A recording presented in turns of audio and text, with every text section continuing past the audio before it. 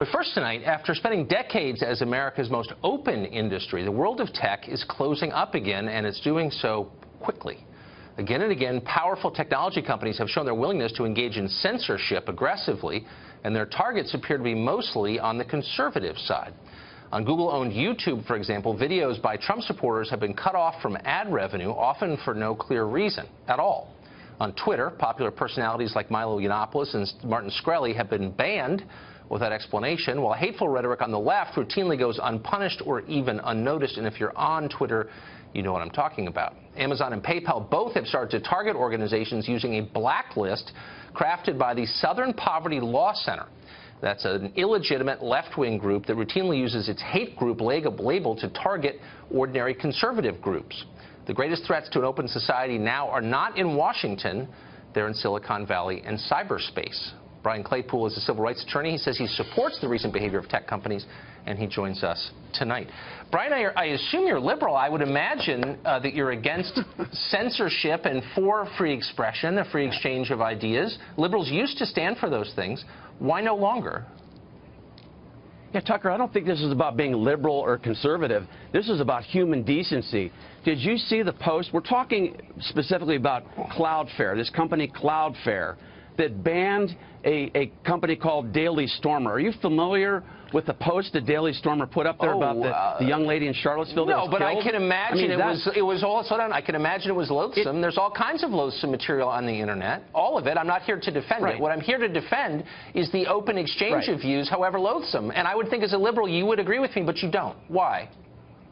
No, no, I don't, because we live in a different society. I view it as miraculous that we've gone how many decades now with private corporations who are basically self-regulated. We don't have laws that should require companies like Cloudflare to, to remove uh, hate groups like Daily Stormer when they're posting things that are, that are vitriolic that could, Tucker, lead to violence. For example, there are two pending billion-dollar lawsuits against Facebook because people are now arguing that because Facebook didn't remove postings by people that killed other people in terroristic acts, that that was material support to no, those I, killings. I, have seen so the argument. It's a new argument, and it's an argument from the left exclusively that speech equals violence. The Supreme Court has ruled on this repeatedly. It does not equal violence. Speech is protected by the First Amendment. Liberals used to understand that. Indeed, they're responsible for those Supreme Court cases that enshrined it in law. And my question is, why are they retreating from their longstanding position that if you don't like something, you argue against it. You don't shut it down. I don't understand when the change yeah. happened. Tucker, I believe the change happened when we've, when we've had an onslaught over the past few years of terroristic acts within the U.S. And then afterwards, we find out that, for example, out here, I'm in L.A., the San Bernardino shooting. Remember that? How can we forget that? I mean, the, the shooter is posting on Facebook. He's sending messengers through Facebook. There's there's propaganda being promoted through yeah, Facebook. There is. It's time. It's yeah. But Tucker, here's the point. You have to try to preempt something before it happens. If you have a group like Daily Stormer that's calling a 32-year-old woman haven't, a, you haven't a thought slut, Okay, it, I'm not, yeah, again, look, you're, uh, you're, not going to put me in a position to defend the ugliness of a lot of the things online. I'm merely saying that once you decide you're going to censor speech, a lot of really difficult questions arise, such as who gets to decide what's hate and what's legitimate argument? What are the punishments? These are questions we haven't faced right. in this country because we have a First Amendment. And unfortunately, the left, because it's now in power, uh, in control of all of our cultural institutions, no longer believes in it. And so here's my question. So it's a not, company like like Google yeah. is more powerful than any company in the history of the world. Okay, it's a trillion dollar company. Right. Aren't you a little concerned by the concentration of power in a small number of hands in that company at all? Yeah. yeah.